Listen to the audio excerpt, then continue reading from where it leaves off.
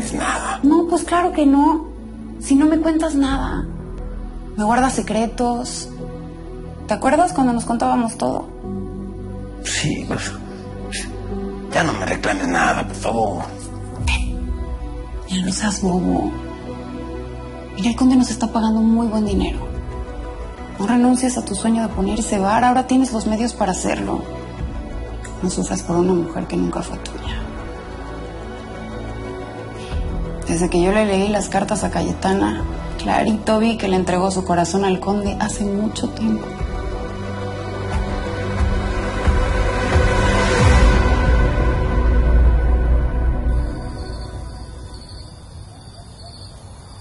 Me siento muy mal por haber interrumpido su plática con Cayetana.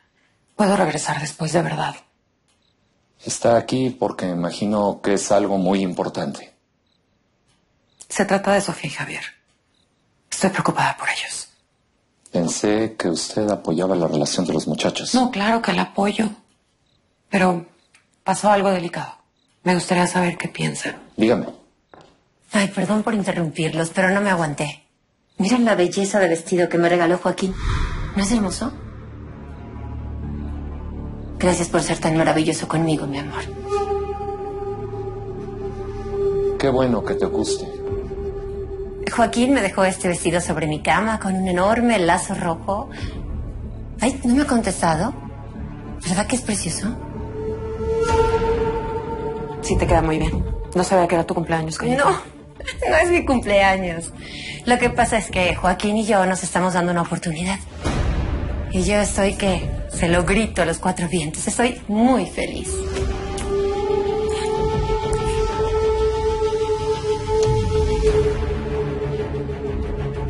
Me da mucho gusto por ustedes. Hacen una pareja muy bonita. Sabía que los dos iban a terminar juntos, claro, viviendo aquí.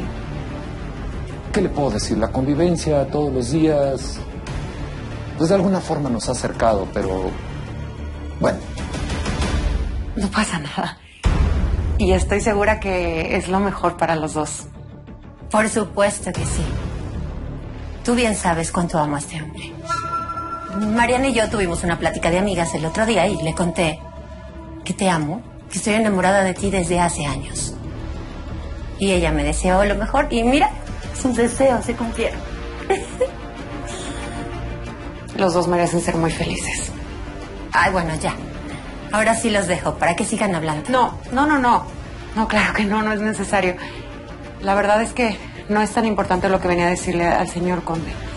Eh, disculpen, pero me están esperando en mi casa.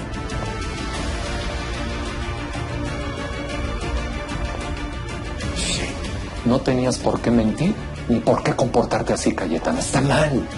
¿Mentir? Yo no estoy mintiendo. ¿Me veo divina?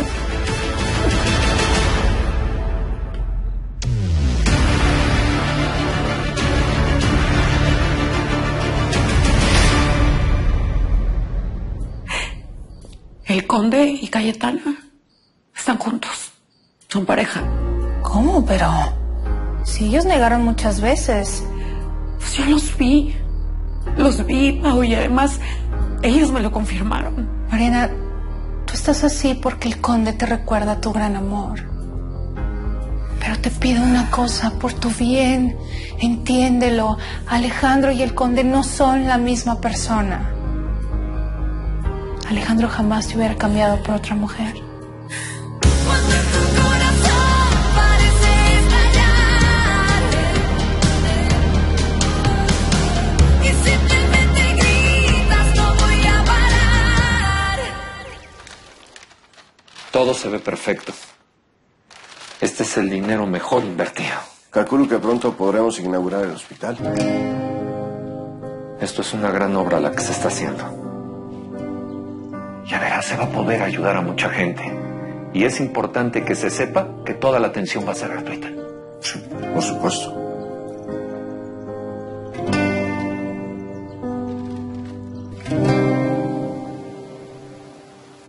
Ay, muchísimas gracias, Nanita.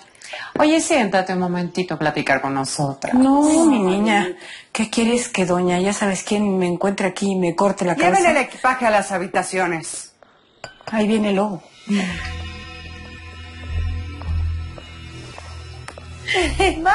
Mi amor. Mariana. Hola. Qué bueno verlas. Igualmente.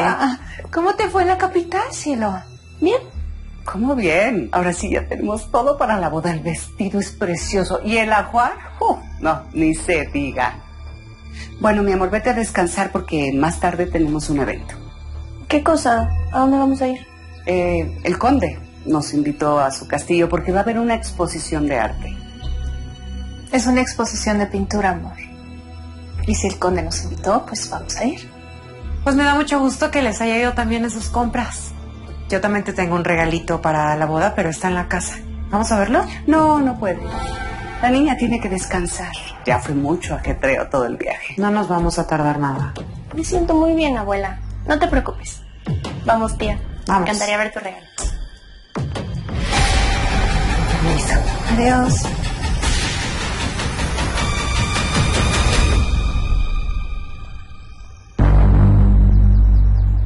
Trataron de envenenar a Josefina. Así es. Ella misma me citó en su casa para que lo confirmara. Yo le di el antídoto. Pero yo estoy cumpliendo con venir a contarle todo. Y le prometo que no fui yo quien vendió o preparó ningún veneno. Le creo. ¿Qué sabemos de eso? Nadie vio nada. Hubo una empleada a la que corrieron. Traté de dar con ella, pero fue como si se le hubiera tragado la tierra. Quien lo hizo no supo hacer bien. Se puede ir, Casilda. Pero recuerde nuestro trato. Usted no puede volver a vender ninguna hierba que le haga daño a nadie. Ah, sí, señor. Hasta luego. ¿Crees que Gerardo quisiera matarla? No, Gerardo tiene otro modus operandi. Y aunque Josefina tiene enemigos, pienso que fue Vicente. Te dije que iban a empezar a morderse entre ellos como perros. Poco a poco cada uno sufrirá su propio calvario. Y ya el calvario de Josefina comenzó, ¿eh? Ni los bancos quieren prestarle. Ella va a tener que declararse en quiebra muy pronto.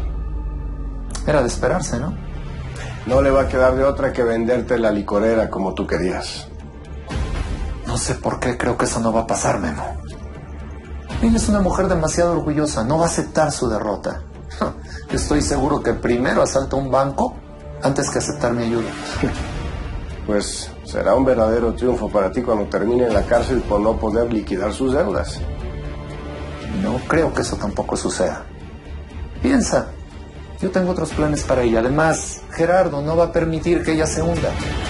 ¿No crees que sería pésimo para su imagen pública en estos momentos? El verdadero castigo de Josefina tiene que venir de ella misma.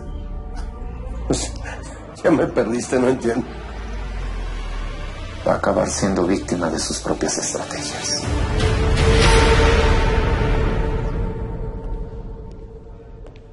Aquí están los resultados de tus análisis.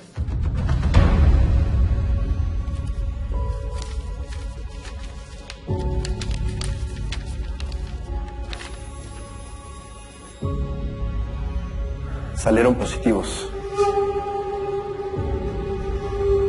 Enhorabuena, Sofía. Vas a ser mamá.